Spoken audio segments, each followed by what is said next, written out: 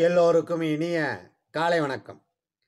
இன்று ஒரு சிந்தனை என்கின்ற இந்த யூடியூப் சேனலின் வழியே இறையொருளால் நாம் தினந்தோறும் சந்தித்துக் கொள்வது பெரும் மகிழ்ச்சியை தருகிறது. இன்று நடைமுறை சிக்கல்கள் பல்வேறு விதத்திலே இருக்கின்றன. ஊடகங்கள் கணினி மேம்பாடுகள் போன்றவையெல்லாம் ஒரு காலகட்டத்துக்கு மேலே தந்தை மகனுக்கு இடையிலே இந்த செவன் ஜி ரெயின்போ காலனியில் வருது இல்லைங்களா படத்தில்? அப்பா சொல் பேச்சை கேட்காத மகன்களை உருவாக்கிவிட விடுகிற வல்லமை படைத்ததாக இருக்கிறது. நண்பர்களுடைய சேர்க்கை இதுதான். பல தமிழ் திரைப்படங்களில் அப்பாவை மரியாதை இல்லாமல் பேசுவது அவன் இவன் என்று ஏக வசனத்தில் பணத்தை சம்பாதிப்பதற்காக வசனத்தை வாரி இறைத்து தந்தையினுடைய மெழுகுவர்த்தியான வாழ்க்கையை மெல்ல மெல்ல சிதைத்து விடுகிறார்கள். பணம் எப்படி வேண்டுமானாலும் சம்பாதிக்கலாம் மாற்று கருத்தே இல்லை. ஆனால் பணம் வந்துவிடும். ஆனால் நிம்மதி இருக்குமா என்பது தானே கேள்வி. இப்படி பல்வேறு விஷயங்களை சமூகம் சார்ந்து சிந்திக்க வேண்டியிருக்கிறது. அந்த வகையிலே எதிர்காலத்தை சொல்லக்கூடிய ஏந்தல்களான ஜோதிட பெருமகனார்களெல்லாம் ஜோதிடத்தை சொல்லிக்கொண்டே இருக்கிறார்கள். நான் விண்ணில் இருக்கிற கோள்கள் மண்ணில் இருக்கிற உயிர்கள் அத்தனையையும் பாதிக்கின்றன என்பதை நான் உணர்வுபூர்வமாக நம்புகிறேன். அந்த விதத்திலே எதையும் ஆதாரபூர்வமாக அணுகுவதற்குரிய வாய்ப்பை ஏக இறைவன் எனக்கு அருளி இருக்கிறான் இப்படி தந்தை மகன் பகையை ஜோதிடத்திலே சில நூல்கள் சொல்லுகின்றன. அந்த வகையில் ஜாதக அலங்கார பாடலை இப்பொழுது நாம் சிந்திக்க போகிறோம். பாடல் எண் ஐநூற்றி தொண்ணூற்றி ஐந்து. இதை நல்லா கவனிச்சு பாருங்க. ஐநூற்றி தொண்ணூற்றி அஞ்சு. முதல்லையும் ஐந்து ஆரம்பிக்கிறது. இறுதியிலும் ஐந்து ஆரம்பிக்கிறது. ஐந்து தான் புத்திர பாவம். இயல்பாகவே அது வந்துடுச்சு பாருங்க. ஐந்தாம் இடம் என்பது புத்திர பாவம்.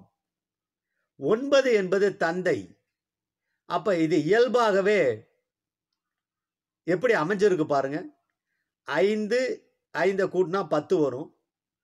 நடுவில் இருக்கிற ஒன்பது கூட்டினீங்கன்னா ஒன்பது ப்ளஸ் ஒன்று பத்து அதுவும் ஒன்று தான் அப்போ சூரியன் என்பது தான் தந்தைக்குரிய காரகத்துவமாக எதிர்காலத்தை சொல்லக்கூடிய ஏந்தல்களான ஜோதிட பெருமானார்களெல்லாம் எழுதி வைத்து விட்டு போயிருக்கிறார்கள்.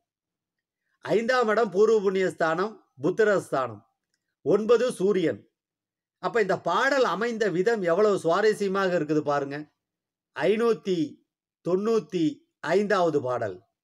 ஐந்தாம் இடத்தில் செங்கதிரோன் அறவும் கூடி தானிருக்கின். மஞ்சார் குழலாய் தந்தைக்கும் மைந்தன் தனக்கும் வரும்பகையே செஞ்சாளிகளும் திரவியமும் சேதமுண்டாம். திறமையுடன் வஞ்சாதிருந்த தளங்கள் விட்டு தூரப் போவதே இலக்கணமே என்று கூறுகிறார். இதுக்கு என்ன அர்த்தம்? செங்கதிரோன் என்றால் சூரியன். இந்த சூரியன் ஐந்தாம் இடத்தில் ராகுவுடனோ கேதுவுடனோ சேர்ந்து இருக்கிற பொழுது குழந்தைக்கு அந்த குழந்தைக்கும் தந்தைக்கும் பகை வந்தே தீரும். அப்போ என்ன பண்ணணும்? கொஞ்சம் விலகி இருக்கிறது நல்லது. அந்த திசா காலங்களில் கண்டிப்பாக பிரச்சனை வந்தே தீரும். அப்போ தன்னுடைய சொந்த ஜாதகத்தினுடைய அடிப்படையிலே பூர்வ ஜென்மத்தினுடைய அடிப்படையிலே மனைவி வராங்க குழந்தைகள் பிறக்கிறாங்க எல்லாமே நடக்குது. மனைவி வருவதனாலேயோ குழந்தைகள் பிறப்பதனாலேயோ ஒருத்தருடைய தலைவிதி மாறுவதில்லை. இவங்களுக்கு என்ன தலைவிதியோ அவங்க தான் குழந்தைகளாக பிறக்கிறார்கள். மனைவியாக வராங்க உற்றார் உறவினர்களாக நண்பர்களாக தொழிலாக அமைகிறது. இப்படி தந்தை மகன் பகையை ஜாதக அலங்கார பாடல் ஐநூற்றி தொண்ணூத்தஞ்சு சொல்கிறது. மேலும் சில விஷயங்களை துணை விதைகளாக நாம் சிந்திக்க போகிறோம் ஒன்பதாம் அதிபதி ஆறு எட்டு பனிரெண்டுகள் மறைந்தால் பிள்ளைகளால் தந்தைக்கு உதவி இல்லை. ஒன்பது நாலாம் அதிபதிகள் ஒன்றே ஆகி அந்த கிரகம் தனித்து ஒன்பதுலேயோ நாலுலயோ இருந்தால் தந்தைக்கு மரணம் விரைவில் வருங்கிறது ஒரு பாடல் ஆய்வுக்குரியது. அஞ்சாம் அதிபதி ஒன்பதாம் அதிபதிகளும் பன்னெண்டில். அஞ்சாம் அதிபதியும் ஒன்பதாம் அதிபதி சேர்ந்து பன்னெண்டில் இருந்தாலும் புதனும் செவ்வாயும் பத்தில் இருந்தாலும் தந்தைக்கு கருமம் செய்யாத புதல்வர். புதனும் செவ்வாயும் பத்தில். அது ரெண்டு கிரகம் மட்டும் தனியாக இருக்கணும்.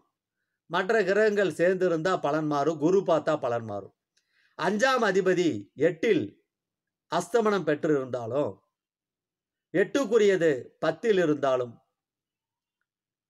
குரு ஒன்பதாம் அதிபதி பனிரெண்டில் மறைந்தாலும் தந்தைக்கு உதவி செய்வதற்கு குழந்தைகள் முன்வர மாட்டார்கள் இப்போ நிறையா நம்ம பார்க்குறோம்.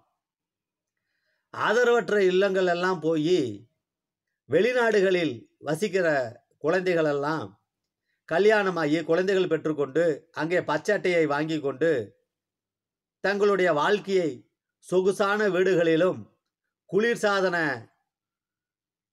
நான்கு சக்கர வாகனங்களில் பயணிக்கிறார்கள்.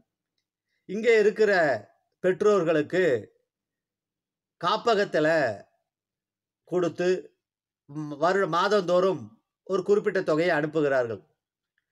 பணத்தால் வேண்டியதை பெறலாமே ஒழிய அன்பை ஒரு பொழுதும் பெற இயலவே இயலாது.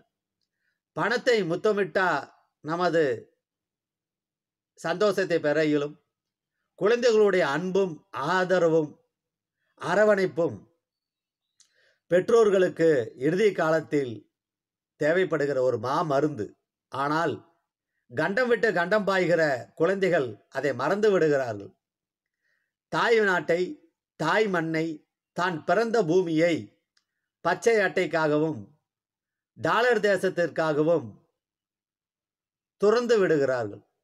அப்படி துறந்து விட்டாலும் கூட அங்கே இருக்கிற கோயில்கள் குளங்கள் அதுகளெல்லாம் குளித்து நாங்கள் பாவ நிவர்த்தி செய்து விடுகிறோம் என்கிறார்கள். கடல் தாண்ட கூடாது என்று சொன்னவர்கள் கூட கடல் தாண்டி போய் அங்கே பூஜை செய்கிறார்கள். அப்போ இதெல்லாம் காலத்தின் கோலமாக தெரிகிறது. ஜாதக அலங்கார பாடல் தந்தை மகனுக்கு இருக்கிற இடையிலே இருக்கிற பகையை சொல்கிறது. அதை மகள் நம்ம எடுத்துக்கிட்டாலும் சரி மகன்னு எடுத்துக்கிட்டாலும் சரி.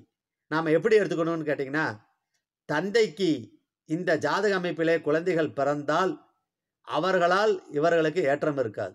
இது ஒரு பக்கம். இன்னொன்று அப்படி ஏன் குழந்தைகள் பிறக்கிறார்கள்? இவர்களுக்கும் தாய் தந்தையருக்கும் ஐந்தாம் பாவம் கெட்டு போயிருந்தால் அவர்களுக்கும் இப்படித்தான் குழந்தைகள் பிறப்பார்கள்.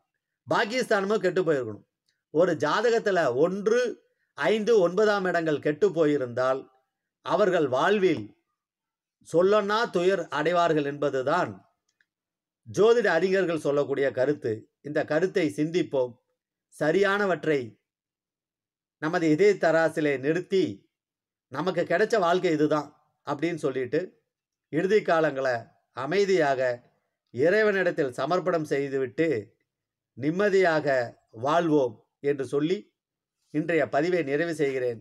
ஜாதக அலங்கார பாடல் ஐநூற்றி தொண்ணூத்தஞ்சு தந்தை மகன் பகை.